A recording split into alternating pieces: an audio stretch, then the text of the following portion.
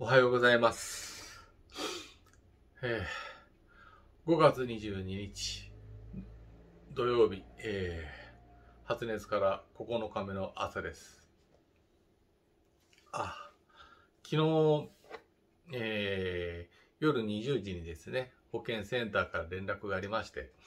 あの、ホテルの隔離が決まりました。うん、で、保健センターの人って、あの、22時になっても仕事してるんだなっていうのを感心して驚きました。本当にありがとうございます。で、今日の移動の予定っていうのがですね、一応明日から移動ができるという形だったんですが、まあ昨日夜聞いてですね、さすがに起きてすぐにバタバタとあの、その着替えとかですね、その、移転隔離の準備っていうのはちょっとさすがにできないんで、あの、昼過ぎにしてもらいました。あの、保健センターの人はね、あの、午前中に行ったら、あの、お昼ご飯間に,、ま、間に合いますよっていう感じを、あの、教えていただいたんですが、まあ、そんなに食欲があるわけでもないし、もう、お腹空いてたまらないよっていうわけでもないんで、あの、断ってね、ゆっくり、あの、支度を、準備をしてから、あの、行きたいと思います。もうなんか、あの、聞くとですね、あの、家の方まで迎えが来るみたいなんで、本当に助かります。ただ、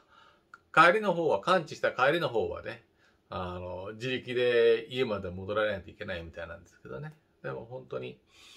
ありがたいです。あの、この病気がね、あと何日続くかわからないんですが、まあ、今月中までにね、あの、仕事復帰できればいいかなと思います。うん、で、まあ今日の予定は、とりあえず、この Vlog を作った後ですね、あのまあ、あのホームページに書いた10日分のじ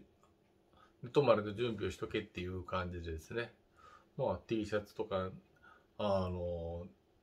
寝巻きみたいに準備して、あと何持っていこうかな。まあ、うん、持っていくもん特にないですよね。スマホの充電器とか、あとは歯ブラシと、えっと、うん、うん、うんまあ、髭剃りぐらいで。あ、あそうそう。ちょっと驚いたのが、あの、洗濯物が、あの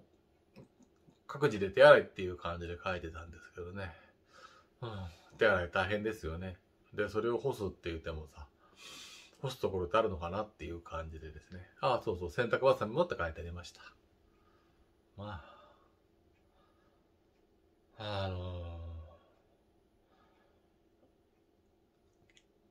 なんとか、うん、やって、うん、早くコロナから復活したいと思います。じゃあ、皆さんも養生してください。